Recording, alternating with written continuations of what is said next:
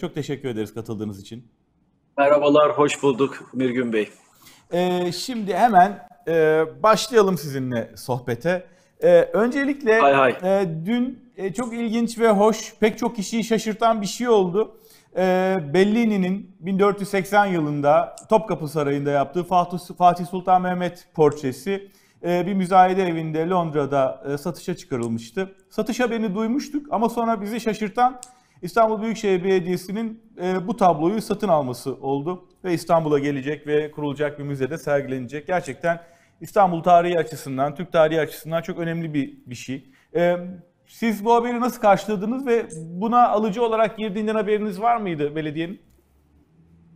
E, dün İstanbul'daydım. İstanbul'da e, hem e, il başkanımız Canan Kaftancıoğlu vardı. E, bütün e, ilçe başkanlarımız oradaydı. Ekrem Bey de oradaydı. Yapılan bir çalışmanın e, e, hem gelecek açısından hem geçmiş açısından değerlendirmesini yapıyorduk. Toplantının sonuna doğru Ekrem Bey bu tabloyu Fatih Sultan Mehmet tablosunu İstanbul Büyükşehir Belediyesi'nin aldığını söyledi. Büyük bir sevinçle biz bunu aldık diye ifade. Ben de orada duydum tabii. E, Ekrem Bey'in böyle bir girişimde bulunduğundan. E, mutlu oldum, son derece mutlu oldum. Bunu ifade etmek isterim. Gerçekten de Fatih Sultan Mehmet'in e, dünyadaki tek örnek zaten böyle bir tablo. E, bunu alması, İstanbul'a kazandırması. E, önemi şuradan e, kaynaklanıyor bana göre. Bir, İstanbul'u fetheden kişi Fatih Sultan Mehmet ve o tabloyu Türkiye'ye getiren kişi de İstanbul'un Büyükşehir Belediye Başkanı. Üçüncü, bir üçüncü önemli bana göre önemli nokta. E, düne kadar e, Cumhuriyet Halk Partisi'nin e, sanki Osmanlı tarihine karşıymış gibi ya da geçmiş tarihi, geçmişimize karşıymış gibi bir algıyı ısrarla ama ısrarla e, yaratmak istediler. Ama e, AK Parti'nin e, yarattığı bütün algıların zaman içerisinde ne kadar yanlış olduğunu, Cumhuriyet Halk Partisi'nin gerçekten de e, kendi ülkesinin bugününe ve geçmişine sahip çıktığını gösteren e, güzel bir örnekti. Daha sonra bunu e, e, Ekrem Bey e, bütün e, katılımcılarla paylaştı ve e, orada e, hepimiz Ekrem Bey'i alkışladık. Güzel bir şeydi. Nerede sergileneceğini e, sordum e, ve e, bu tablonun özel olarak korumaya alınması gerektiğini de söyledim. E, Paris'teki Louvre Müzesi'nde Mona Lisa tablosu var. O tablo diğer tablolara göre daha farklı bir şekilde e, korunuyor. Benzer bir korumanın yapılmasını istedim. Tabii bu benzer korumayı e, yapacağını Ekrem Bey ifade etti. E, bunun nerede sergileneceğine dair daha fazla bilginiz var mı? E, ben e, o konuda e, yap, bir açıklama yaptı ama izin verirseniz ben o konuya fazla girmiş olmayayım. E, çünkü eminim e, Sayın Başkan kendi kurmaylarıyla da görüşecek. E, tablonun nerede sergilenmesi e, gerektiği konusunda bir karara varacaklar ve ondan sonra sergilenecek. Peki dün bir başarı, e, bir hoşluk yaşandı ama bir de başarısızlık olayı da vardı. O da İstanbul'da trafiğe çıkarılmak istenen 5-6 bin trafik plakası ile ilgili koordinasyon merkezinde yapılan görüşmenin ardından bunun reddedilmesi ve bir alt komisyona havale edilmesi. E, UKOME'nin, e, Ulaşım Koordinasyon Merkezi'nin yapısı değiştirildi. Daha önce e, seçilmişlerin çoğunlukta olduğu, belediye kadrolarının çoğunlukta olduğu e, bir kurum bu. Ama seçimlerden sonra evet. valiliğin ve bakanların ve başka kamu kurumlarının temsilcileriyle denge değiştirildi. Bu dengenin belki ilk örneği değil ama e, en büyük örneklerinden bir tanesi de dengenin değişmesinin sonuçlarından dün yaşadık. Bir engellenme hissi zaman zaman karşısına çıkıyor belediyelerin. Özellikle de belediye meclisinde azınlıkta olunan İstanbul Büyükşehir'de olunduğu gibi UKOMA gibi kurumlarda karşısına çıkıyor. Bir bu taksi plakası meselesi aslında hem sosyolojik hem ekonomik anlamdan hem de anlamda hem de seçmen e, e, meselesi olduğu için siyasi anlamda bunun bir önemi var. Hem taksi plakaları konusunda İstanbul ne düşünüyorsunuz ve bu girişim konusunda? İkincisi de belediyelerin engellendiği hissiyle karşılaşıyor musunuz? Bu his belediyelerin elini kolunu bağlıyor mu? Ne düşünüyorsunuz? Ee, Mirgün Bey e, biliyorsunuz e, Cumhuriyet Halk Partisi'nin Ankara, İstanbul, İzmir, Adana, Mersin e, gibi 11 Büyükşehir Belediye Başkanlığı'nı kazanması iktidar cephesinde büyük bir hayal kırıklığı yarattı. Biz bunun farkındayız zaten. Belediye başkanlarımızın bulundukları beldeleri yönetemeyecekleri şeklindeki bir algıyı beslemek istediler. E burada da büyük bir hayal kırıklığına uğradılar. Şimdi yasalarla, özel düzenlemelerle e, Erdoğan ve ekibi acaba Cumhuriyet Halk Partili belediye başkanlarını nasıl çalışamaz e, ya da başarısız konuma getirebilirim diye özel bir arayış içinde. Belediye başkanı arkadaşlarıma şunu söyledim. Bir, kesinlikle e, efendim biz engellendik, mahvolduk diye bir e, tablo çizmeyeceksiniz. Tam tersine şunu yapacaksınız. Hangi engel çıkarılırsa çıkarılsın büyük bir kararlılıkla yolunuza devam edeceksiniz, amacınıza ulaşacaksınız. Bunun için hukukun sağladığı bütün olanaklardan yararlanacaksınız ve bütün kararlarınızın halkın desteğini alınması yönünde kararlarda halkın desteğinin alınması yönünde de halkı bilgilendireceksiniz. Bunu söyledim. Şimdi belediye başkanımız haklı olarak diyor İstanbul'da taksiye ihtiyaç var. Evet 5000 plakaya ihtiyaç var diyor. 5000 plaka ne demektir Mirgün Bey? 5000 kişiye iş demektir. 5000 kişi evine ekmek götürecek demektir. Bugün milyonlarca işsizimiz var. Milyonlarca. 5000 kişiye istihdam yaratmak kötü bir şey mi? Artı orada kendi özel dünyasında diyelim e, bir grup e, işte 10 taksiye, 20 taksiye, 30 taksiye sahip olanlar var. Bunların biraz itirazları var. Ekrem Bey bunu da yerle bir etmek istiyor. Diyor ki arkadaş yani herkes ekmeği eşit paylaşsın. Yani taksi plakaları tamam var onlara bir şey yapmayacağım. Kazanmış hak olarak görüyorum. Ama en azından izin verin İstanbullu taksi konusunda biraz daha rahat etsin. Artı e, Ekrem Bey e, şunu da ifade etti e, görüşmemizde. E, bu taksilerin nasıl olacağını da aktardı bana. E, olağanüstü şık ve güzel binen herkesin çok mutlu olacağı taksiler olacak bunlar. E, dolayısıyla bu taksilerin şoförleri olacak. Bunlar İstanbul'a hizmet edecekler. Gelirlerini alacaklar. Bunların hepsi sigortalı olacak. Hepsi düzenli aylık alacaklar. E, dolayısıyla bakıldığı zaman halktan yana, İstanbulludan yana, işsizden yana bir politika bu. Şimdi bunu e, UKOME'yi değiştirdiler. Oradaki sayıyı değiştirdiler. İktidardan yana olanların sayısını artırdılar. Engel çıkarmaya çalışıyorlar. Biz bu engelleri aşacağız. Ne yaparlarsa yapsınlar Ekrem Bey de diğer belediye başkanlarımız da halka hizmet etme konusunda elinden gelen bütün çabayı bütün arkadaşlarımız gösterecekler. Şimdi tam bir yıl oldu e, İstanbul'da belediye el değiştireli, Cumhuriyet Halk Partisi evet. geçeli. Mart sonunda da işte Ankara ve diğer belediyelerin e, seçimleri yapılmıştı ve onlarda bir görev değişimi olmuştu. Bu bir yıl içinde CHP sizce yerel yönetimlerde bir şey değiştirebildi mi? İkincisi bu bir yıl içinde CHP için ne değişti? Şöyle, e, yerel yönetimlerde çok şey değişti. Bakınız bütün belediye başkanlarımız her yılın hesabını veriyorlar. Bütün belediye başkanlarımız birinci yılını doldurduklarında oturdular kendi beldelerindeki vatandaşa hesap verdiler. Ben bir yıl içinde şunu şunu şunu yaptım e, diye ifade etti. İki, harcadığı parayı, üç, ihalelerin tamamı kamuoyuna açık. Yani e, son derece şeffaf, e, halka hesap veren zaten belediye başkanlarımıza biz yedi maddelik bir yedi maddelik bir e, yazı vermiştik. Yedi maddeden oluşan. O yazının içeriği şuydu. İşte e, harcadığınız her kuruşun hesabını vereceksiniz. İhaleler e, saydam olacak. E, belde halkına hizmet edeceksiniz. Bulunduğunuz beldede hiçbir çocuk yatağa aç girmeyecek.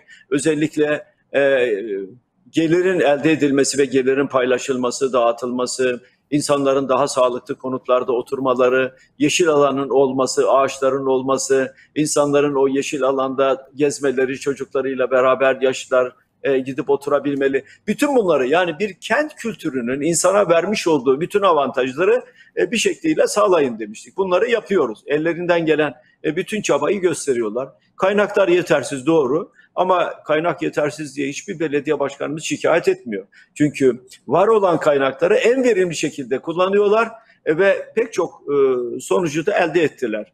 Ha bu süreçte ne oldu? Bu süreçte pek çok şey yıkıldı. Az önce e, Fatih Sultan Mehmet'in tablosunun İstanbul'a gelmiş olması ve bu tabloyu getirenin de Cumhuriyet Halk Partili belediye başkanı olması e, başlı başına bana göre güzel bir olaydır. E, hem Fatih'e sahip çıkmak hem İstanbul'a sahip çıkmak hem böyle bir tabloyu Türkiye'ye getirmek e, dünyadan pek çok e, turist gelecektir. E, Türkiye'ye Fatih'in tablosunu da e, görmek isteyecektir. İstanbul'u fetheden kişiyi ve üstelik bir İtalyan ressamın yapmış olduğu yüzlerce yıl önce yapmış olduğu tabloyu görmek için gelecektir.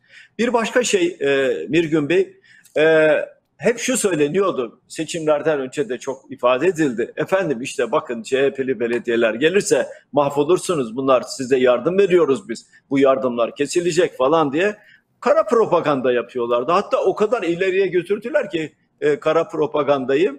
Mansur Yavaş için Ankara e, Büyükşehir Belediye Başkanımız Mansur Yavaş için bakın ha sakın oy vermeyin. Eğer o kazanırsa su paralarını PKK'lılar toplayacak. Bütün onlar görev yapacaklar diye kara propaganda yapıyorlardı. Ama halkın sağduyusu çok güçlü aslında. Yani kimin neyi yapacağını veya yapamayacağını bir şekilde görüyor. E, adaylarımıza da güvendim. E, dolayısıyla e, pandemi sürecinde bir gene bütün engellemelere rağmen belediye başkanlarımız e, toplumun her kesimine e, gerçekten yardım götürdüler. Paniğe kapıldı yine siyasal iktidar. E, yardım alması gereken yani bütçe gelirleri arasında yardım olan, e, nakdi yardımlar da olan bütçe gelirleri arasında yasa da yazıyor bu. E, bize e, nakdi yardım yapılırsa bunları ulaştıracağız yoksul e, kişilere diye e, çağrı yaptılar banka hesaplarını e, açtılar, bankalarda hesap açtılar. Bu da yasaklandı. Ee, oradaki paralar hala duruyor, blok edilmiş vaziyette duruyor. En son biliyorsunuz Danıştay iktidardan evet. yana bir karar verdi. Hı hı. O karar, o bir gün bey, yani gerçekten hayret ediyorum. O insanlar gerçekten yargıç mı? O insanlar gerçekten oturdukları şöyle yasayı ele aldıklarında bu yasanın içinde ne olduğunu biliyorlar mı acaba? Bu yasanın içinde belediye gelirleri yasasının içinde belediye gelirlerinin e, sayıldığı maddede bağışlar diye bağışlar diye bir bölüm var. Acaba bunun farkındalar mı? Emin olun, emin olun. İktidardan talimat alarak karar alıyorlar. Efendim yürürlüğü durdurma e, davasını reddetmiş e, Danıştay. Reddetsinler, istediklerini yapsınlar. Ne yaparlarsa yapsınlar Cumhuriyet Halk Partili belediyeler bulundukları bölgede, beldede halka hizmet etmeye devam edecekler. Peki bu Bütün ezberleri içinde, bozduk. Bozmaya da devam edeceğiz. Tam da buna soracağım. CHP'nin kendisine dair algısında, güveninde bir değişiklik oldu mu? Yani bir yıldır çünkü Türkiye'nin büyük bölümünde nüfus açısından e, bir yerel iktidara sahipsiniz. E, evet. Kısıtlamalar bile olsa bir gücünüz var. Bu güç size CHP yönetimine, CHP tabanına kendini nasıl hissettirdi? Nasıl bir değişiklik var mı? Hep şimdi e, şöyle e, Mirgün Bey, vatandaş mutluysa aslında biz de mutluyuz. Yani bakıldığı zaman yine benim e, belediye başkanlarına verdiğim talimat şuydu. Belediye başkanı olarak seçildiğiniz andan itibaren bütün beldeyi kucaklayacaksınız. Yani size oy versin veya vermesin, sizi sevsin veya sevmesin bir ihtiyacı varsa o ihtiyacı gidermek için özel çaba harcayacaksınız. Yani herkese eşit davranacaksınız diye söyledim. Şimdi bunu yakından izliyoruz. Ee, belediye başkanlarımız bu konuda benim gösterdiğim duyarlı aslında onlar da gösteriyorlar. Bu açıdan son derece mutluyum. E, çünkü e, ayrıca biz e, bütün belediye başkanlarımızla ilgili e, yaptıkları çalışmaların belde halkına yansımaları nedir? Belde halkı acaba bizim belediye başkanlarımızın verdikleri hizmetlerden memnun mu değil mi? Belediye başkanları hem kendileri ölçüyorlar ama genel merkez olarak biz de ölçüyoruz. E, mutluyum. E, hepsinde, bütün belediye başkanlarımızda e, başarı yüzde 50'nin üzerinde. Bu beni çok mutlu ediyor. Yüzde 50, 55, 60'a yaklaşan e, belediye başkanlarımız var. Beni mutlu ediyor. Bütün engellemelere rağmen e, başarı var engellemeleri de vatandaşın doğru kabul etmediğini, bunun yanlış olduğunu da e, AK Partililer bile bunun yanlış olduğunu bile kabul ediyorlar. Bu anketlere de yansıyor. Anketlerin Ama ne yaparlarsa yapsınlar, şeylerin arasında sık sık yapılan popülerlik e, araştırmaları da var. Hatta bundan birkaç hafta önce e, uluslararası bir araştırma kuruluşunun yaptığı bir araştırma vardı. E, iki başkanınız çok öne çıkıyor. İki Büyükşehir Belediye Başkanı Mansur Yavaş Ankara ve Ekrem İmamoğlu İstanbul Büyükşehir Evet. Belediye Başkanları. Ve onlar aynı zamanda sadece popülerlik değil siyasi anlamda güvenirlik, e, siyasi anlamda popülerlik e, sorularının e, cevaplarında da hep yukarılarda çıkıyorlar ve Cumhurbaşkanı Erdoğan'ın önünde, arkasında, yakınında falan görünüyorlar. Şimdi bu kadar Evet. popüler olmaları bir genel başkan olarak sizi biraz rahatsız ediyor mu? İkincisi belki daha kritik Tam bir soru. tersine. Ee, şimdi böyle baktığınız zaman tabii siyasi bir perspektif çizmek istiyor herkes önüne. Yani bu konuya kafa yoranlar. Bu iki isim, iki siyasetçi, iki CHP'li 2023 yılında daha farklı bir göreve aday olma ihtimalini, şansını, mecburiyetini getiriyor mu Bunu size? Ha, bunu- Yok hayır, bunu düşünmek kadar yanlış bir şey yok. Onlar şu anda belediye başkanılar. Onların başarılı olması, onların e, e, yapılan anketlerde çok yukarıda bir yerlerde çıkmaları, hatta Cumhur, gönül ister ki Cumhurbaşkanlığı da çok üstünde olsunlar. E, üstünde olmaları beni mutlu ediyor. Çünkü verdiğimiz mücadelenin artılarını görüyoruz. Verdiğimiz, aldığımız kararların ne kadar doğru olduğunu görüyoruz.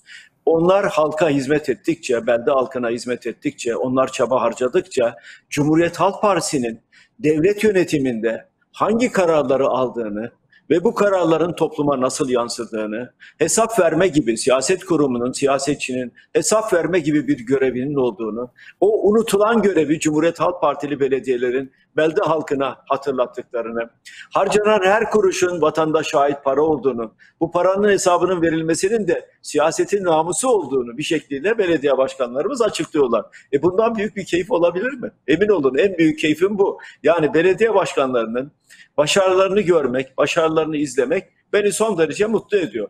Ha onun dışında belediye başkanlarımız ileride çok daha iyi yerlere gelirler. Gelsinler tabii. Bütün bütün başarılar elbette ki ödüllendirilmeli. Burada özel bir şeyim yok.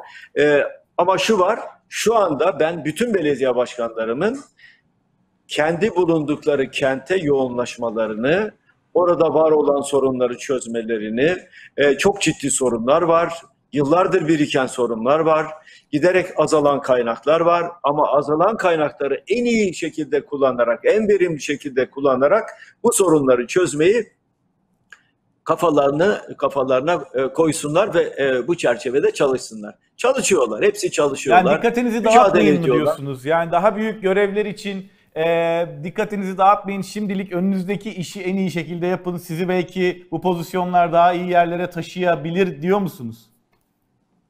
Aynen öyle. Şu anda yoğunlaşacakları tek şey var.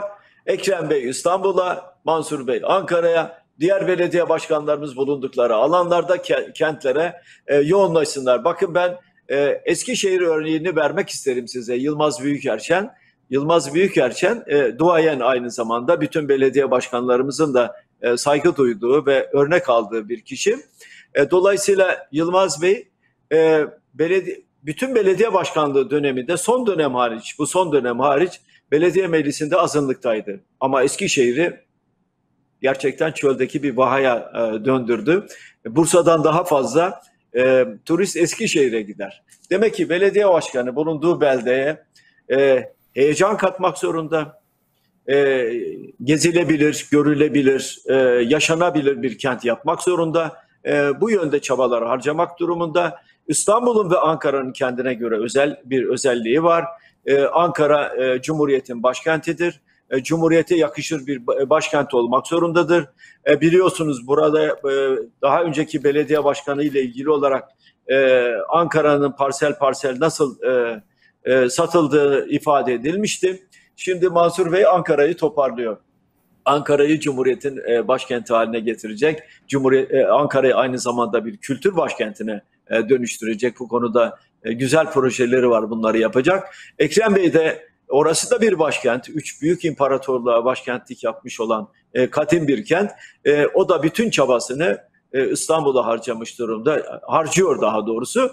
E, onun da güzel projeleri var. Aşama aşama E, bütün bunlar devreye girecek. Ee, şimdi tam da e, İstanbul'daki seçimleri kazanmanızın yıl dönümünde e, İstanbul İl Başkanınız e, 9 yıla aşkın 10 yıla yakın bir süreyle daha önce verilmiş olan hapis cezası istinaf mahkemesince onandı. E, sizce Canan Evet. Kaftancıoğlu'nun e, bu şekilde yargılanmasının ve zaman zaman da e, hücumlara maruz kalmasının e, onun siyasi kimliğiyle e, özel olarak ilgisi var mı? CHP içindeki e, durduğu yerle bir alakası var mı? Cinsiyetiyle alakası var mı? Hayır. Ne düşünüyorsunuz? E, İstanbul İstanbul'da bir başarı elde edildi. Örgütümüz çalıştı. Şimdi e, gerçekten de yerel yönetimlerde e, yaşı ne olursa olsun kadın erkek e, bütün örgütümüz e, günün 24 saati çalıştılar. E, ve gerçekten herkese e, bütün e, çalışanlara, partimizin çalışanlarına, emektarlarına e, şükran borçluyum. Bir başarı varsa bu başarı hepimizin ortak mücadelesiyle e, gerçekleşen bir başarıdır. Başarıyı onaylayan da e, belde halkıdır. Dolayısıyla onlara da yürekten e, teşekkür ederiz. E, Kadın belediye başkanı, kadın e, büyükşehir e, il başkanımız, e, yani İstanbul il başkanımız e, Canan Hanım e, gerçekten de günün 24 saati çalışan, emek harcayan, e, toplumun her kesimine dokunan, e, doktorluğun da vermiş olduğu bir avantajla insanlarla çok daha rahat, samimi ilişki kuran bir arkadaşımız. Şimdi e, başarıyı gerçekleştiren, başarının arkasındaki e, aktörlerden birisi de e, Canan Hanım'dı. Şimdi acaba bunu nasıl pasifize edebiliriz, nasıl yok edebiliriz diye özel bir arayışa girdiler. E, ağır cezalar verdiler, istinaf mı onayladı. Sanıyorlar ki Canan Hanım geri adım atacak, Cumhuriyet Halk Partisi geri adım atacak. E, bunların hiçbirisi bizim için değer taşımaz. Bizim için değerli olan şey halka verdiğimiz hizmettir. Bizim için değerli olan şey demokrasiye yaptığımız katkıdır. Bizim için değerli olan şey yargının bağımsızlığıdır. Vesayet altındaki bir yargının alacağı karar bizim için yok hükmündedir. Onlar kararı uygulayabilirler. Hapse de atabilirler. Bunların hiçbir ama hiçbir değeri yoktur, hiçbir önemi yoktur. Çünkü biz inandığımız yolda, demokrasi yolunda, halka hizmet etme yolunda, güçler ayrılığını savunma yolunda, basın özgürlüğünü savunma yolunda mücadelemizi sürdüreceğiz. Elbette ki bu mücadelede bazıları şöyle veya böyle bedel ödeyecektir. Ben e, daha önce hem grupta hem daha sonra yaptığım bazı açıklamalarda eğer bu ülkede demokrasi yolunda, halka hizmet etme yolunda bir bedel ödenecekse o bedeli öncelikle CHP'liler ödeyecektir demiştim. E bunlar oluyor ama bunlar bizi yıldıramaz kararlılıkla yolumuza devam edeceğiz. Peki o zaman yerelden genel siyasete, merkezi siyasete doğru geçelim. Ee, İyi Parti Genel Başkanı Meral Akşener dün katıldığı bir yayında e, Cumhurbaşkanı Erdoğan bir daha o göreve seçilemeyecek. Bundan çok eminim burada da kesinlikle söylüyorum dedi. E, siz de aynı kanaate, aynı kesinlikle sahip misiniz? E, sahibim, sahibim. Çünkü Türkiye nereye gittiği belli. Rejim değişti malum vesayet altında. Demokrasi yargısı, yürütme organı vesayet altında olan hatta hatta onu da bırakalım. Parlamentosu vesayet altında olan bir ülkede yaşıyoruz. 20 Temmuz'dan sonra bir sivil darbe oldu. İki yılda biliyorsunuz tek adam vesayet rejimi var. Bakın ben size şöyle bir örnek vereyim. Rakamları vereyim ben size. 2018'de yani vesayet rejiminin başladığı süreç 2018'de dolar 4 lirayken şimdi 6 liraya çıktı. Çeyrek altın 328 lirayken şimdi 661 liraya çıktı. Köprülerden geçiş ücreti %179 oranda arttı. Bir yılda ödenen faiz. Tek adam vesayet rejiminden önce 62 milyar lira bir yılda faiz ödüyorduk. Şimdi bir yılda ödediğimiz faiz 118 milyar. Neredeyse %100'ün %100'e yakın bir artış var. Bu vesayet sürecinde, vesayet yönetimi sürecinde 2 milyon 281 bin kişi işinden oldu. Yani çalışırken, çalışırken, üretirken, sigortalıyken 2 milyon 281 bin kişi işinden oldu. Milli gelirimiz 100 milyar dolar düştü. Milli gelirimizde düşüş 100 milyar dolar. Dünya ekonomisinde 17. sıradaydık. Şimdi 19. sıraya geriledik. Dolayısıyla bu tablo ortadayken ve bu tablo doğrudan doğruya mutfağa yansımışken Erdoğan'ın gidici olması için özel bir çaba harcamaya gerek yok. Çünkü kendi sonunu kendisi hazırlayan e, bir lider konumunda. Ha şunu yapabilseydi, gerçekten yaptığı harcamaların hesabını verebilseydi, parlamentoyu vesayet altında olmasaydı, yargı bağımsızlığı olsaydı, e, Sayıştay'ın raporları e, parlamentoya gelebilseydi, bütün bunlar olabilseydi belki bu tablo ortaya çıkmayacaktı. Ama Erdoğan her şey benden sorulur diyor. Her şeyi ben yaparım diyor. En doğrusunu ben yaparım diyor. Ama en pahalı maliyeti topluma çıkaran, bizim tarihimizde topluma çıkaran e, lider konumunda. Kendisi sarayında keyfi içinde yaşıyor. E, bir sosyete var orada. Saray sosyetesi var. İşte kayınpeder, akraba, yakın bütün herkes orada. Herkesin bir eli yağda, bir eli balda. İstedikleri kişiye istedikleri ihaleleri veriyorlar.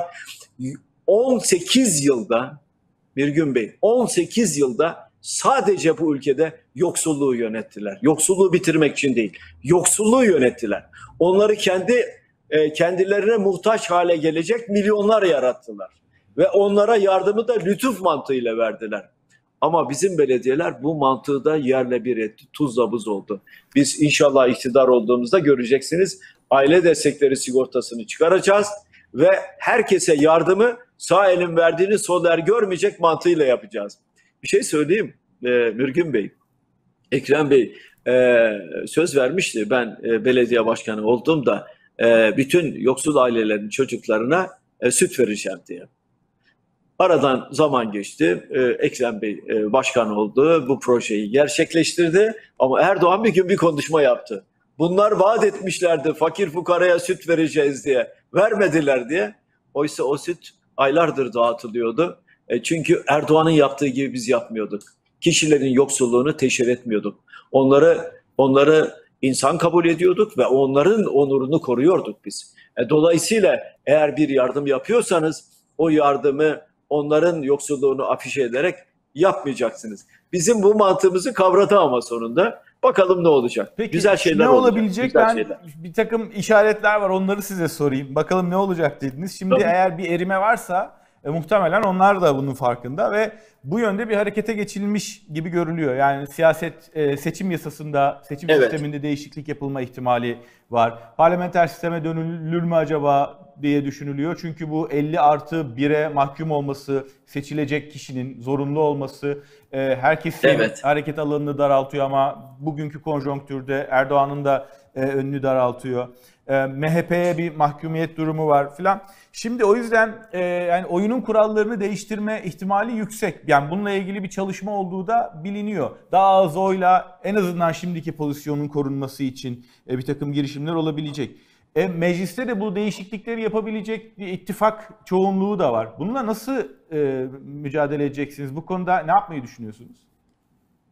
Şöyle e, Birgün Bey, e, gidici olanlar e, gitmemek için e, önce baskı kurarlar, yasaları değiştirmeye çalışırlar. Rakiplerini acaba nasıl tasfiye edebiliriz siyaset arenasından, onları nasıl yok edebiliriz diye özel çaba harcarlar. İşte gazetecilerin hapse atılması, milletvekillerinin hapse atılması, belediye başkanlarının alınması, yerlerine kayyum atanması gibi pek çok e, işin içine girerler. Bununla beraber e, şunu çok net ifade edeyim e, Mürgün Bey. E, her darbeden sonra darbeciler e, kendi hukuklarını yaratırlar. 12 Mart'a bakın böyledir. 12 Eylül'e bakın böyledir. 20 Temmuz sivil darbesine bakın öyledir. Şimdi kendi hukuklarını oluşturmaya çalışıyorlar. Diyorlar. Tamamı antidemokratik. Demokratik hiçbir yasa yok. Tamamı. Acaba biz koltuğumuza nasıl e, yapışırız ve bu koltuktan nasıl kalkmayız? Bunun arayışı içindeler. Hepsini göndereceğiz. Hepsini. Halkın desteğiyle, halkın oyuyla, halkın gücüyle, sandığa giderek, demokratik yollardan bunları göndereceğiz. Bakın bunun en tipik örneği Yüksek Seçim Kurulu'nun kullanılarak yani yargının bir sopa olarak kullanılarak İstanbul Büyükşehir Belediye Başkanlığı seçimlerinin iptalidir. Aynı zarfın içinde dört oy var. Üçü geçerli kabul ediliyor. Biri geçersiz kabul ediliyor. Dünyada örneği olmayan bir hukuk faciasıyla karşı karşıya kaldık. Ama kime güvendik? İstanbul halkına güvendik. Doğru muydu? Doğruydu. Fark ne oldu? Onların hayal edemediği kadar bir fark çıktı ortaya. Şimdi acaba e, ilk seçimlerde aldı en çok oyu kim alırsa o cumhurbaşkanı olsun 50 artı biri aramayalım gibi bir pek çok arayış olabilir. Ne yaparlarsa yapsınlar. Hangi yasayı getirirlerse getirsinler emin olun millet artık bıkmış vaziyette. Bunların gitmesi lazım. 18 yıldır besledi bunları. 18 yıldır her birisi köşeyi döndü. 18 yıldır dünyalıklarını yaptılar. 18 yıldır sadece kendileri değil beslemeleri oldu. 18 yıldır o beslemelerin medya ayağı oldu. 18 yıldır o beslemelerin efendim e, bürokrasi ayağı oldu. Bir milletvekiline veriyorsunuz. E, emekli millet, daha doğrusu milletvekilliği yapmış oradan aylık alıyor. 3-4 yerden daha aylık alıyor. Ya milyonlarca genç, milyonlarca doktorasını yapmış, üniversiteyi bitirmiş, parlak beyinler varken bunlara istihdam alanı yarat, yaratmıyorsunuz ama kendi yandaşlarınıza iş üstüne iş, para üstüne para veriyorsunuz. E bunu görmüyor mu vatandaş? Görüyordur tabii. E görünce de yeter artık diyecek yani. Bunların gitmesi lazım. Gidecek, göndereceğiz bir gün, bir gün bey. Ama şu, şu tabloyu Türkiye'nin önüne koyacağız. Halkına hesap veren, halkına hesap veren, her kuruşun hesabını veren, doğru dürüst çalışan, akraba, eş, dost değil, objektif davranan, devlete liyakati egemen kılan, yargı üzerindeki vesayeti kaldıran, parlamento üzerindeki vesayeti kaldıran yeni bir yeni bir siyaset iklimini birlikte bu ülkeye getireceğiz vatandaşlarla. Bundan eminim. Ee, iktidarın ortağı MHP e, size zaman zaman çok yükleniyor. Açıktan e, sizi çok çeşitli şekillerde eleştiriyor. E, Evet. Bir de Devlet Bahçeli zaman zaman böyle nokta atışları yapıyor. Mesela Çakıcı'dan hareketle bir e, e, infaz affı gündeme getirildi. E, hara- hayata geçti. Şimdi siz onu Anayasa Mahkemesi'ne götürdünüz ve esastan görüşülecek. Şimdi Evet. yeni bir yargılamanın pimini çekti ne olacak diye herkes bekliyor. Mümtazer Türköne, kardeşi eski bir ülkücüdür ağabeyi. E, o da yeniden Evet. yargılansın dedi. Ya bir genel olarak MHP'nin ve Devlet Bahçeli'nin bu ittifaktaki rolünü bir de bu çıkışlarını değerlendirir misiniz? Ve tabii sizi de hedef almasını da göz önünde bulundurarak. E, beni hedef almasını gayet doğal buluyorum. E, çünkü AK Parti'yi eleştiremeyeceğine göre e, sadece bizi eleştirecek. Başka bir alanı yok zaten. E, orada bir ittifak değil bir koalisyon var aslında. Küçük ortak büyük ortağı e, büyük ölçüde yakalamış vaziyette. Her dediğini onlara yaptıran e, ve büyük ortak da küçük ortağa bir anlamda mahkum edilen e, bir tablo var önümüzde. Bu tabloyu biliyoruz. Bu tablonun farkındayız zaten. Ama ben ve arkadaşlarım e, olabildiğince e, MHP'nin söylemlerine e, yanıt vermiyoruz. Vermemeye de özen gösteriyoruz. Çünkü e, bizi doğrudan ilgilendiren bir şey yok. Yaptığı suçlamaların hiçbirisi doğru değil, gerçek değil. MHP milliyetçi kimliğini kullanarak, ülkücülük kimliğini kullanarak siyasette önemli bir aktördü aslında. Kabul edelim. Ülkücüler de bu ülkenin gerçekten birliği, bütünlüğü, dirliği için mücadele eden e, gruplardı. Böyle kabul ediyorum ben. Ülkücü hareketi de böyle görüyorum aslında. Ülkesini seven, birliğini, bağımsızlığını savunan e, kişiler olarak görüyorum.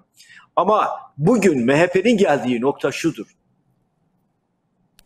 Eğer siz, eğer siz kendi topraklarınızı terk edip Süleyman Şah Türbesi'ni kaçırıyorsanız önce bunu ülkücülerin sorgulaması lazım. Kendisine milliyetçiyim diyenlerin sorgulaması lazım. Eğer kaçıranların yanında yer alıyorsanız sizin milliyetçiliğinizden ben endişe duyarım. Tank palet fabrikasını Katar'a bir dolar almadan, bakın bir dolar almadan götürüp peşkeş çekiyorsanız kendi milli fabrikanız, fabrikanızı, Avrupa'nın en büyük üretim, tank e, palet üretim merkezini eğer bu şekliyle yabancı bir devletin ordusuna peşkeş çekiyorsanız buna ilk karşı çıkacak olanlar ben milliyetçiyim diyenlerdir, ülkücüyüm diyenlerdir. Eğer bunlara destek veriyorsanız, peşkeş çekenlere destek veriyorsanız onların ülkücülüğü, milliyetçiliği su, sudan milliyetçilik, ülkücülüktür. Laftan öteye gidemez. Ben böyle bakarım. Dolayısıyla MHP'ye bugünkü konum itibariyle de böyle bakıyorum. Yani iktidarın eee küçük orta oradan bir şeyler bekliyor. O beklediği şeyler için de yoluna devam ediyor. Onları bir anlamda esir almış vaziyette. Tabanlı oynuyor. Acaba o tabandan oy al- alabilir miyim diye. Ama son veriler şunu gösteriyor. O tabandan bırakın oy almayı hem AK Parti'nin hem MHP'nin oylarında düşüş var. Çünkü ikisi birbirine destek veriyorlar. İşsizlikte artış varsa MHP'nin de rolü var. E, o da koalisyon ortağı aslında. Yani dışarıda gibi görünmekle beraber fiilen koalisyon içinde yer alıyor. Olaya böyle bakıyorum. Ee, eğer kendileri kalkıp da e, Cumhuriyet Halk Partisi'ne eleştiri getiriyorlar, getirebilirler. Mümtazer Türköne dosyasını bilmiyorum e, Mirgün Bey. Bir haksızlık varsa ben ayrım yapmam. Bir haksızlık varsa bir kişi eğer gerçekten haksız yere hapisteyse onun çıkması lazım. Yani onun yeniden yargılanması lazım. E, haksızlık varsa. Dosyayı bilmediğim için içeriğine girmiyorum ama temel ilke olarak ben temel ilke olarak e, bugün yargının vesayet altında olduğunu, yargının siyasi otoritenin taleplerini yerine getirdiğini, o talepler çerçevesinde hareket ettiğini, dolayısıyla bizdeki yargının bağımsız, anayasada tanımı yapılan, hukukun üstünlüğüne göre ve vicdani kanaate göre karar veren bir yargı düzeninin süratle yok olduğunu ve çürüdüğünü, içten içe çürüdüğünü e, görüyorum, gözlemliyorum. E, hayatımın kendi içinde de, hayatımın kendi içinde de e, bunu görüyorum. Tazminat davalarından vesaire e, bunları da görüyorum. E, dolayısıyla eğer Mümtazer Türköne için bir haksızlık yapılmışsa elbette dava yeniden görülebilir. E, ben tıpkı e, Selahattin Bey e, ya da Osman Kavala e, bunlar e, belki hayatlarında hiç CHP'ye oy vermediler. E, zaten e, Selahattin Bey zaten ayrı bir e, ayrı partinin genel başkanı. E, ama siz Avrupa İnsan Hakları Mahkemesi kararını uygulamaz ve her seferinde her beraatten sonra ki Selahattin Bey ile ilgili dört kez tahliye kararı verilmesine rağmen aynı dosyadan yeni e, uydurma suçlar yaparak onu mahkum edip sürekli hapiste tutarsanız buna siyaset kurumunun ya da yelpazesinin neresinde yer alırsak alalım adaletten yana olan insanların ortak karşı çıkması lazım. Ya bu yanlıştır demesi lazım. Bu bu e, adalet değildir. Yani bu adaletsizliktir e, demesi lazım ve bu çerçevede hareket etmesi lazım. Bilmiyorum yani e, Demirtaş Mümtazer, konusunu e, açmışken aslında sormak istediğim başka bir şeye gelmiş olduk. Şimdi günümüzde e, Türkiye'de siyaset e, ittifaklar bazında yapılıyor. Seçimden seçime bu daha da e, ortaya Evet. çıksa bile bir yandan da ama o bağlılık devam ediyor partilerin birbirleriyle olan teması devam ediyor. Şimdi ortada bir de HDP var. HDP'de işte son seçimlerde Türkiye'de en fazla oy almış 3. parti %12 civarında bir oy aldı. E, ve sistemli bir şekilde yıpratılmak için e, hukukun sınırları zorlanarak da pek çok şeyle, muameleyle karşı karşıya kaldığını biliyoruz. Detaylar hepimizin malumu. Ama şöyle bir şey var yani son seçimlerde belki gerçekten HDP seçmeninin adaylarını çekip e, sizin ittifakınızı desteği olmasa çok büyük ihtimalle bu başarıların önemli bir bölümüne bazı şehirlerde ulaşamayacaktınız. E, ama e, buna rağmen e, sanki HDP ile e, böyle bir mahcup e, bir mesafeyi korumaya çalışıyormuşsunuz gibi bir izlenim var. Yani e, günlük siyasette, e, günlük istişarelerde, yaptığınız açıklamalarda, onların karşı karşıya kaldığı durumlara gösterdiğiniz tepkide e, bir samimiyet sorunu var gibi. Yani sanki onların e, bu ittifaka, Cumhuriyet Halk Partisi'ne ve adaylarına sağladığı katkıyı siz onlara geri vermiyormuşsunuz gibi bir izlenim var ve eminim onlar da bundan çok şikayetçi. Zaten çeşitli platformlarda da dile getiriyorlar. E, bu mesafeyi tabanınızdan tepki görmemek adına iktidar bu birlikteliği kullanmasın e, diye mi korumaya çalışıyorsunuz? Burada bir samimiyet sorunu var mı? Mirgün Bey, e, tabii yani tartışılabilir. Ben e, siyasete her alan tartışılabilir. Bu konu da tartışılabilir ama e, şunu rahatlıkla ifade edebilirim. Yani e, e, HDP'ye oy veren e, vatandaşlarımızın tamamı e, son seçimlerde gelip CHP'ye oy verdiler e, demek e, gerçekçi bir yaklaşım değil. Ama büyük bir kısmı gelmiş oy verebilirler ve hepsine de yürekten teşekkür ederim. Yani bir siyasi partinin amacı nedir? bütün vatandaşlardan oy ister ve bütün vatandaşların oyuna taliptir. Bunu sadece CHP olarak biz değil, bütün siyasetçilerin ortak hedefi de budur. Bu süreç içerisinde Cumhuriyet Halk Partili adayların desteklenmesi elbette bizi mutlu eder. Hatta ben şunu da ifade edeyim.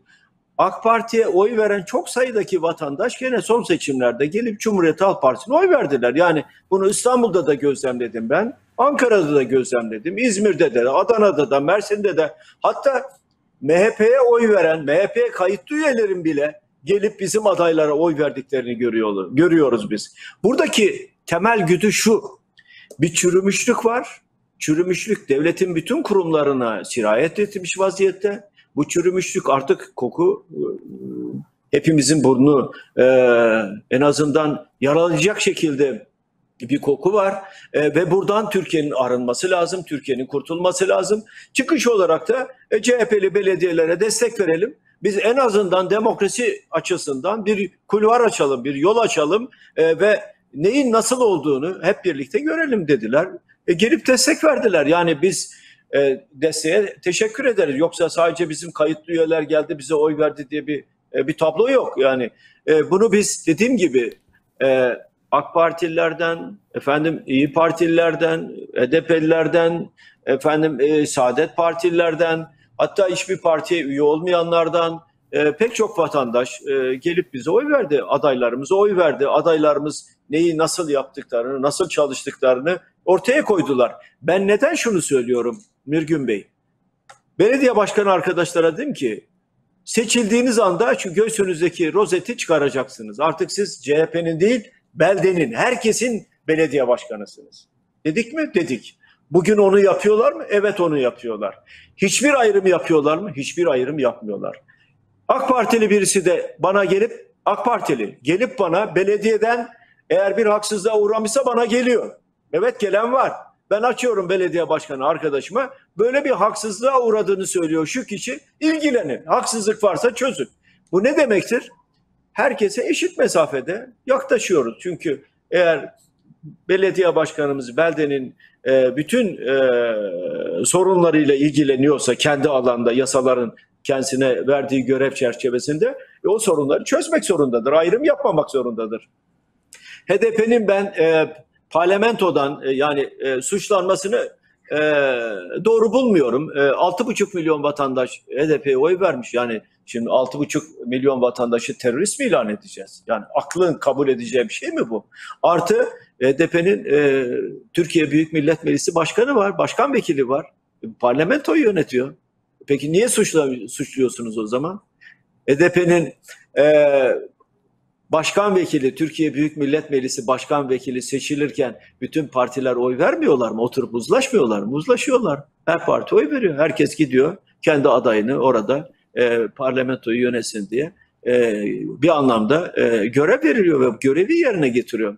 Dolayısıyla insanları suçlayarak değil, insanları kucaklayarak, var olan sorunları çözerek, ortak düşünce alanını büyüterek, e, siyaseti saygın kılmalıyız. Benim temel hedefim bu.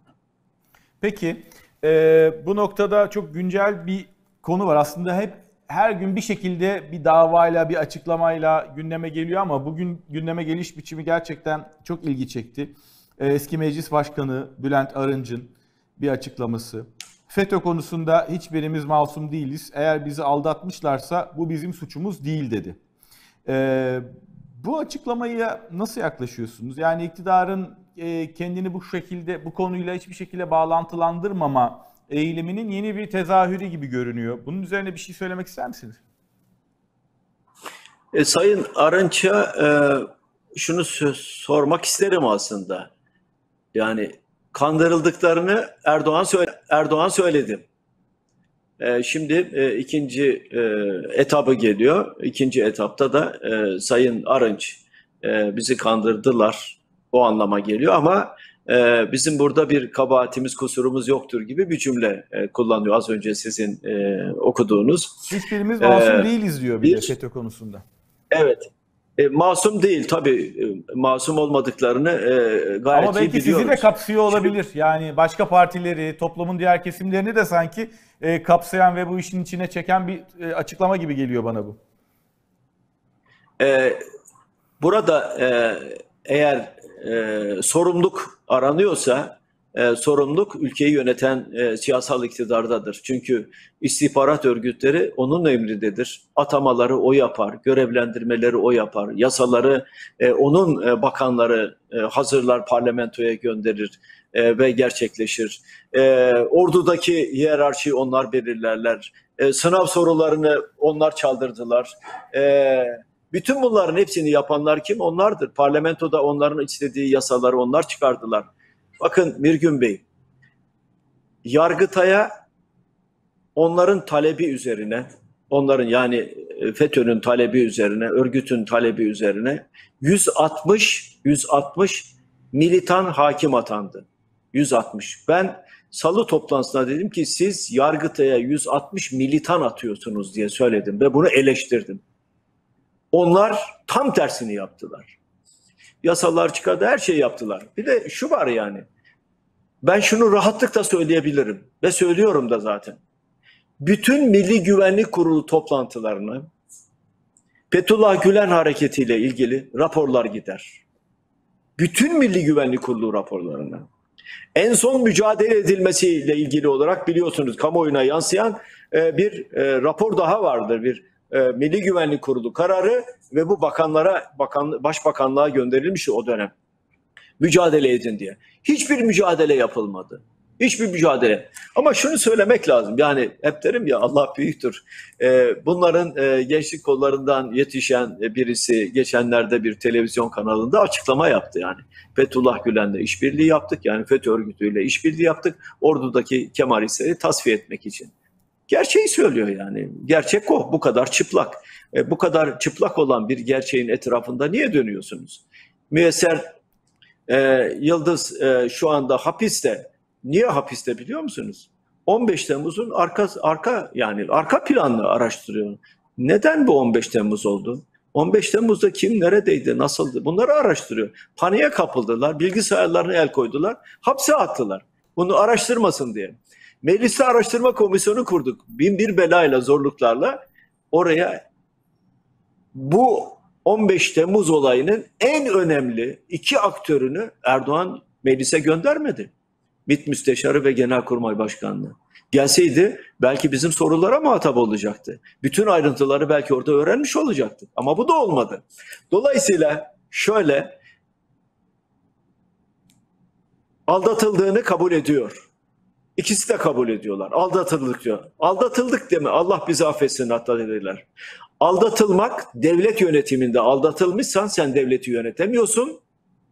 O koltuktan ayrılacaksın.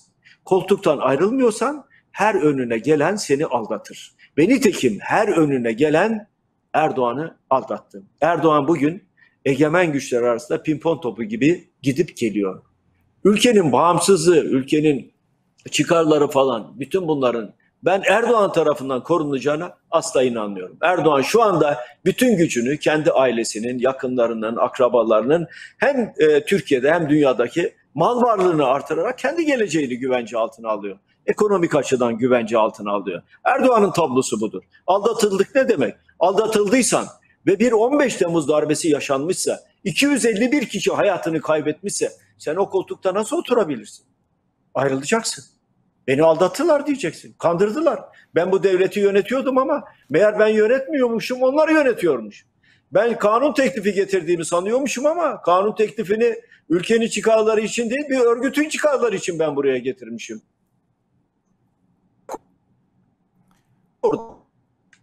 Devleti yönetemiyor demektir ve zaten devleti de yönetmiyor yani devleti yöneten Erdoğan falan değil yani. Erdoğan da vesayet altında. Bakın bunu gayet rahat söylüyorum. O da vesayet altında.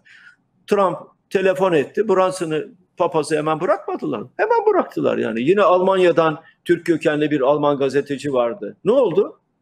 Bir telefon ettiler. Hemen bir gecede iddianame hazırlandı. Ertesi gün bırakıldı. Kapıdan çıkarken bir başka mahkemenin tutuklama kararı eline tutuşturuldu. Havaalanına götürüldü. Uçağa bindi ve Almanya'ya gitti. Ne diyeceksiniz? Mirgün Bey ne diyeceksiniz? Yani en son AK Partili e, bir kişi e, kalktı. Evet biz FETÖ'yle işbirliği yaptık. Ordudaki Kemalistleri tasfiye etmek için dedi. Bir gerçeği çizdi. O gerçeği ifade ettiği için aslında ona teşekkür ediyorum. E, Salı grup toplantısında da teşekkür etmiştim. Çünkü yıllardır bizim söylediklerimizi bu kadar açık, bu kadar net hiç kimse dile getirmemiş. Şimdi onlar dile getirdiler. Peki. Emre Cemil e, Ayvalı'ydı galiba Hı-hı. yanlış hatırlamıyorsam adı. Evet sonra da görevden el çektirildi zaten. Ee, peki son olarak şu konuya girmek istiyorum Sayın Kılıçdaroğlu. Şimdi tam bir ay sonra e, Cumhuriyet Halk Partisi kurultayı var. İlginç koşullarda yapılacak Covid nedeniyle, salgın nedeniyle büyük bir salon Evet. kiraladınız. Evet. kentin auditoriumunu, konser salonunu kiraladınız ve ilginç bir tecrübe olacak. Ee, muhtemelen başka e, büyük toplantılara da örnek teşkil edecek bu toplantıyı yapma biçiminiz ve alacağınız örnekler, e, önlemler. Şimdi e, aslında her kurultay öncesinde doğal olarak konuşulan bir şeydir. Bu defa çok fazla konuşulmuyor. E, acaba bir genel başkan değişikliği olacak mı? Yönetim değişikliği olacak mı? Ama bir yandan da e, somut bir, işaret olmasa bile, yani bu yönde herhangi bir rekabeti olmasa bile ya bir kişi bu kadar çok genel başkanlık yapar mı? E, Kemal Kılıçdaroğlu ne zaman yerini başkasına bırakacak diye soruluyor. Ee, hem bu sorulara bir sizden cevap isteyeyim. Yani ne diyorsunuz? Bu kadar üst üste seçildiniz, bu kadar yıldır görev yapıyorsunuz. Bir yandan da e, bir isim değişikliği, kan değişikliği bekleyen birileri de var. Bunlara ne dersiniz? İkincisi de bu kurultayda ne değişecek? Yani yeni bir yön, yeni bir hedef, yeni kadrolar, somut değiştireceğiniz şeyler var mı? Yenilenme fırsatını nasıl kullanacaksınız? Şöyle e, e, önce e, genel başkan e, adayı olmak isteyenlere elbette ki e, bütün e, imkanlar var. Hatta ben genel başkan olduktan sonra e, parti üyeleri genel başkan e, olurken önlerinde pek çok zorluklar vardı. E, tüzük değişiklikleri yapılmıştı. Ben bütün bunların tamamını değiştirdim. Çok daha düşük bir imzayla herkes gelip e, partinin genel başkan adayı olabilir, se- katılabilir seçime. E, dolayısıyla kararı verecek olan da partinin saygın e, delegeleridir. Onları da seçen e, örgütün yani parti üyeleridir. E, o do- dolayısıyla o çerçevede arkadaşlar gelip üye olabilirler. E, bu görevi yapabilirler. E, partimizde genel başkan e, pozisyonunda olup ya da pozisyonunu hak eden e, çok sayıda arkadaşımız da vardır. E, aday olurlarsa elbette ki onlar da çıkar. Demokratik yöntem içinde yarışırlar. Biz e, hiçbir zaman e, demokrasinin dışında e, bir özel arayış içinde olmadık. Ne ben ne de e, diğer arkadaşlarımız olmadılar. E, tam tersine e, seçime girecek olan e, arkadaşların önünde e, engel olarak görülen bütün engelleri de e, büyük ölçüde kaldırdık. Yani Partinin koltuk gençleşmesi verilmez alınır, açısından. isteyen varsa buyursun gelsin, alabiliyorsa alsın diyorsunuz. E, Yani arzu eden girebilir tabii yani seçime girebilir, seçime e, gir- e, gir- gi- girebilir, konuşabilir. Hatta hatırlarsanız e, bir imza sorunu çıkmıştı. Biz e, yeterli imza var mıdır yok mudur sorunu çıkmıştı. Ben tam tersine hemen e, arkadaşın yani bizim e, diğer delegeler de gidip öbür tarafa imza versinler. O da seçime katılsın e, yani genel başkanlık seçimine katılsın bir yarışma olsun e, diye ifade etmiştim. E, Dolayısıyla o çerçevede bakıyorum ben. Peki Bu bu, kurultayda kurultayda ne olacak? kadrolarınız değişecek mi? Yani parti meclisi, oradan seçilecek olan MYK, e, belki partinin yapısı ne yönde, neyi önceleyerek bu konjonktürde e, çalışma arkadaşlarınızı şekillendireceksiniz? Şimdi e, bu kurultayı biz e, iktidar kurultayı olarak tanımlıyoruz. E, ve biz e, iktidara geldiğimizde neleri yapacağımızı geniş kitlelere aktarmak zorundayız. Belediye başkanlarında, belediye başkanları seçilirse, iktidar olurlarsa bulundukları beldede, e, onlar neyi yapacaklar bunları açıkladılar. E, topluma güven verdiler e, ve e, toplumda onları seçti.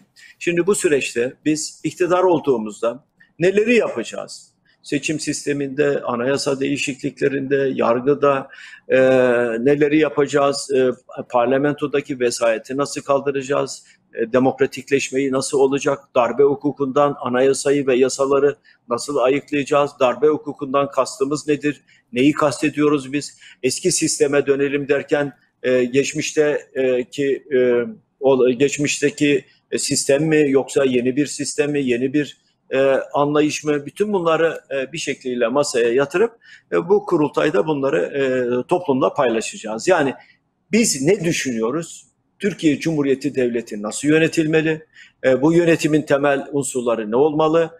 E, hangi yasalarda ne tür değişiklikler yapılmalı ve bu değişikliklerin yönü amacı ne olmalı? Bunları açıklayacağız. Artı e, Türkiye 21. yüzyılda E, Türkiye geliri nasıl artacak? Dış politikada neler yapmalı e, Türkiye? E, ve Türkiye e, artık yoksulluğu kendi kendi e, tarihinin tamamen e, dışına çıkarmalı. Türkiye'de hiç kimse yoksul olmamalı. Her ailenin asgari bir e, güvencesi olmalı. Bütün bunlara yönelik e, bir çalışma yapacağız. E, bu çalışmaların özünde şu, e, 18 yıldır yapılamayanı biz söz vereceğiz. Yani bunu en geç en geç 5 yıl içinde tamamını yapacağız. En geç 5 yıl içinde. Yani 18 yılda yapamadıklarını biz 5 yıl içinde hatta 3 yıl içinde çoğu zaman belli konularda örneğin e, üniversite öğrencilerine yurt yıllardır çözülemiyor. Bir yıllık iş aslında. Bir yıl. TOKİ'ye göre vereceksiniz. Bütün üniversitelerin kampüslerinde birer kişilik, ikişer kişilik odalar, e, geniş sıcak soğuk suyu olacak, geniş internet, e, geniş bant internet erişimi olacak. E, çocuklarımız orada güven içerisinde yatacaklar, kalkacaklar, sosyalleşecekler, e, okula gidecekler, akşam da huzur içinde evle evlerine yani yurtlarına gelecekler. Bu sağlanabilir mi? Yapılabilir yani. Niye yapılmasın bu? Eğitim tam bir felaket. Eğitimin düzelmesi lazım. Artık irfanı hür, vicdanı hür e, dediğimiz e, Mustafa Kemal'in e, söylediği e, kurallara, niteliklere, ilkelere uygun bir eğitim olması lazım. E, çocuğun merak duygusunu büyütmemiz lazım. Çocuğun daha nitelikli sorular sormasını sağlamamız lazım. Analitik düşünmesi lazım. Çocuğun hayatı sorgulaması lazım. Bütün bunların hepsini yapacağız ama neyi, nasıl, hangi strateji içinde yapacağımızı bu kurultayda anlatacağım. Yani kurultayı bir iktidar kurultayı olarak düşünüyoruz. E, eleştiriden çok bir ufuk e, e, çizmeyi, bir ufuk vermeyi düşünüyoruz.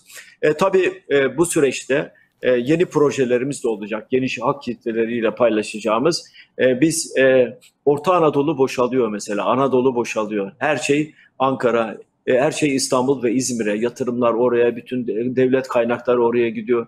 Bu ülkenin Kayseri'si var, Sivas'ı var, Kırşehir'i var, Tokat'ı var, e, Rize'si var. Bakıldığı zaman yani e, her şey e, İstanbul'a milyonlar İstanbul'a e, vatan toprağı, vatan toprağında adam kalmayacak Anadolu'da neredeyse.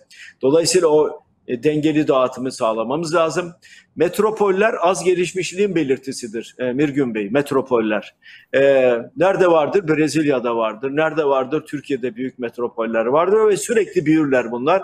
E, çünkü istihdam yaratamazsanız insanlar bulundukları, yaşadıkları, doğdukları, okudukları topraklardan kopup büyük kentlerin varoşlarına giderler. Oysa tam dengeli bir e, sanayi ona göre dağıtmalıyız. Ona göre Türkiye'yi büyütmeliyiz. Türkiye'nin her tarafına e, gelir gitmeli, her tarafında üretim olmalı. E, üniversitelerle üreticiler yani e, sanayiciler arasında çok güçlü bağ olmalı. Tarım tam bir felaket e, pozisyonunda. Tarımı nasıl ayağa kaldırabiliriz? Bütün bunların hepsi yapılabilir. Şuna inanıyorum ben e, Mirgün Bey. Türkiye gerçekten güçlü bir ülke ve Türkiye gerçekten kaynakları çok e, olan bir ülke. Ama bütün bu kaynaklar, bütün bu güç e, sadece belli kişilere hizmet ediyor. Biz onu, o gücü topluma hizmet eder hale Peki, çok teşekkür ederim. Sormak istediğim son konu, e, sizin e, Covid'in neredeyse başlangıcında e, Türkiye'deki önlemlerin başlangıcında 22 Nisan tarihinde yayınlanmış bir yazınızla ilgili. Covid-19 sonrasını düşünmek başlığını taşıyor. Alt başlığında da alçak gönüllü bir uygarlığın inşasına çağrı deniyor. Şimdi biraz günlük siyasetin dışına çıkıp biraz daha az önce söylediğiniz gibi ufka bakarak sizinle konuşmak evet. istiyorum. Ee, hiçbir şeyin eskisi gibi olmayacağı çok söyleniyor. Sizin yazınızda da geçiyor bu. Ee, özellikle evet. pandemi sırasında artık hiçbir şey eskisi gibi olmayacak diye e, herkes iddia etti. Her şeyin nasıl olacağına dair pek az kimsenin fikri vardı ama her şeyin değişeceğinden çok emindik.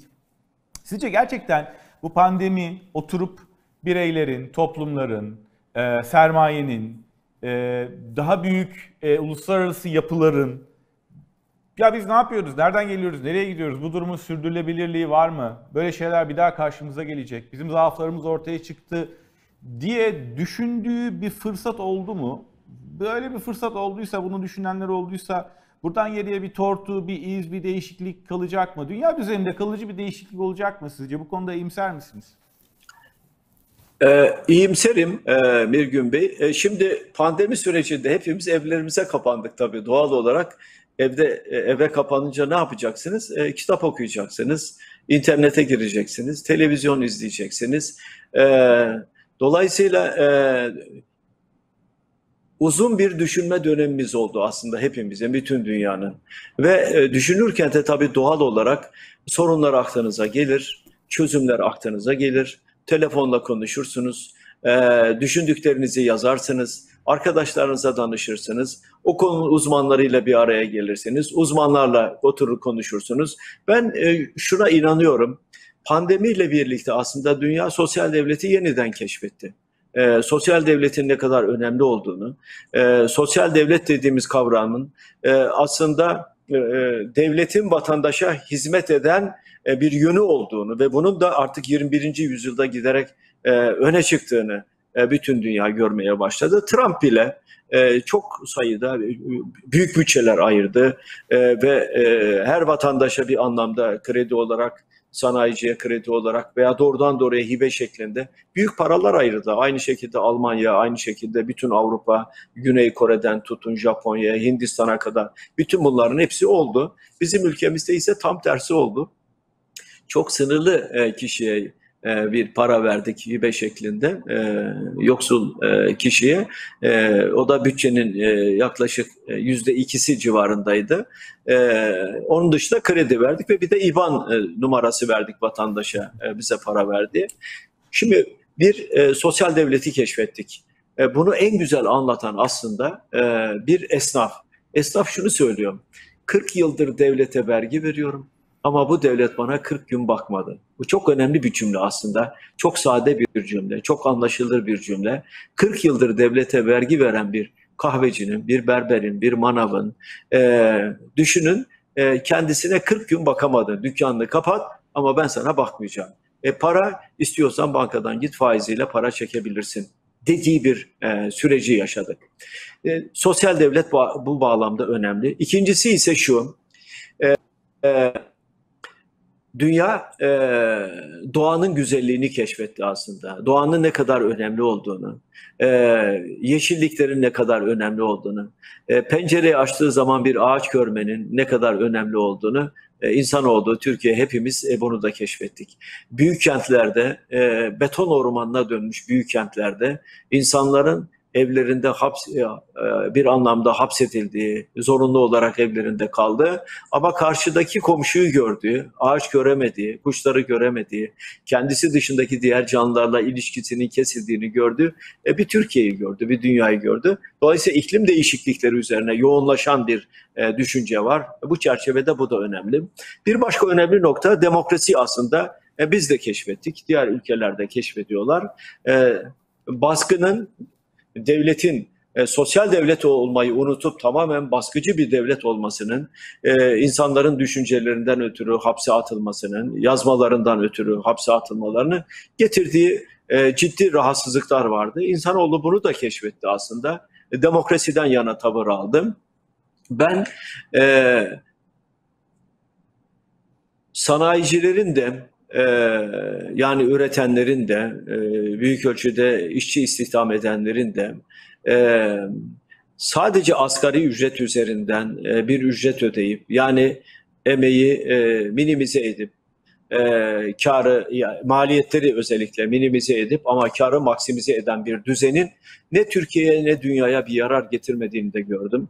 E, demokrasinin çok önemli olduğunu, e, örgütlenmenin çok önemli olduğunu, e, sivil toplum örgütlerinin, meslek kuruluşlarının çok önemli olduğunu, geniş kitlelerin sorunlarını bunların dile getirdiğini ve bunlarla devlet dediğimiz kurum arasında samimi sıcak bir ilişkinin olması gerektiğini, bu bağlamda rahmetli Ecevit'in bir kararnameyle oluşturduğu, oluşturduğu daha sonra da e, anayasaya giren ekonomik ve sosyal konseyin ne kadar önemli olduğunu, sorunları yaşayanlarla sorunları çözecek olanların yan yana e, gelmesi gerektiğini, e, bunu bunların hepsi bir şekliyle ee, sizin az önce söylediğiniz Cumhuriyet'te yayınlanan yazımda da e, ifade etmiştim. Ee, daha önce e, Avrupa'ya gittiğimde dünyanın bütün demokratları birleşmeniz gerekiyor diye. Çünkü baskı sadece bizim ülkemize değil pek çok ülkede de e, baskılar vardı. Ama dünyanın bütün demokratları birleştiği zaman dünyayı daha güzelleştirebiliriz. E, dünyanın yoksul kesimlerine e, yardım yapabiliriz. Birleşmiş Milletler'e yeni e, fonksiyonlar, yeni işlevler yükleyebiliriz. Üretim fazlası olan ülkeler var. Üretim fazlaları e, açlık çeken bölgelere, insanlara rahatlıkla Birleşmiş Milletler aracılığıyla ulaştırılabilir. Bütün bunlar yerel yönetimlerle merkez yönetim arasında sağlıklı, tutarlı bir işbirliği oluşturulabilir ve dolayısıyla e, devlet yönetiminde yerel yönetimlerin e, önemini bu pandemi sürecinde hep birlikte gördük. Bu ilişkiler çok daha güçlü, çok daha sağlıklı bir baza oturtulabilir. Parlamento vesayetten kurtulup parlamentonun denetim yapma görevi var. Yürütme organını denetleme görevi var. E, dolayısıyla e, bu görev şu anda büyük ölçüde elinden alınmış e, vaziyette. Sayıştay raporları Türkiye Büyük Millet Meclisi adına kamu harcamalarını denetleyen Sayıştay'ın raporlarının dile makaslanarak meclise geldiği bir süreci hatta çoğu zaman gelmediği bir süreci de e, yaşadık. Birgün Bey e, bütçe görüşülmeden önce Sayıştay'ın mali raporunun Türkiye Büyük Millet Meclisi'ne gelmesi lazım. Bir dönem Sayıştay'ın mali raporu gelmeden parlamento bütçeyi kabul etti. Tam bir e, e, e, nasıl tanımlayacağım bilmiyorum yani. Tam bir akıl dışı bir olay. Yasa diyor ki parlamento Sayıştay'ın mali raporu gelecek. Neden? Ben mali raporu göreceğim ki kamu harcamaları nasıl harcandığını göreceğim ki yeni bütçe üzerinde düşünce ifade edeyim. Ama o rapor gel, gelmesi lazım yasalara göre. Ama o rapor gelmeden biz bütçeyi kabul ettik. E, bütçe dolayısıyla biliyorsunuz Anayasa Mahkemesi'ne başvurulamıyor. E, dolayısıyla böyle garip tablolarla da karşılaştık. Ben karamsar değilim. Her şeyi aşacağız. Emin olun e, bu ülkeye demokrasiyi getireceğiz. E, herkes düşüncesini özgürce ifade edecek. Karamsarlığı bir tarafa bırakıyoruz ama e, gerçekten önümüzde güzel günler var. E, bunları inşa edeceğiz, yapacağız yani. Çok güzel şeyler yapacağız. Kemal Bey çok teşekkür ederim. Zaman ayırdığınız için, soruları cevapladığınız için çok sağ olun. Çok geniş bir yelpazede gündemdeki hem sıcak hem biraz daha az sıcak konulara e, değinme şansı Evet. bulduk sayenizde. E, çok teşekkür ediyorum. Kolaylıklar diyorum. Sağ olun. Sağ olun. Teşekkürler. Evet. e, özel yayınımızda